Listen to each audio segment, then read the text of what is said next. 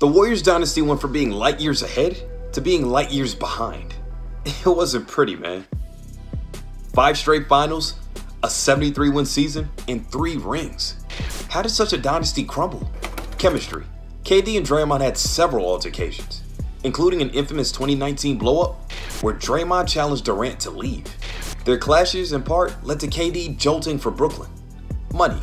With Steph Klay and Draymond all eating up big contracts, the Warriors didn't have a lot of space to maneuver.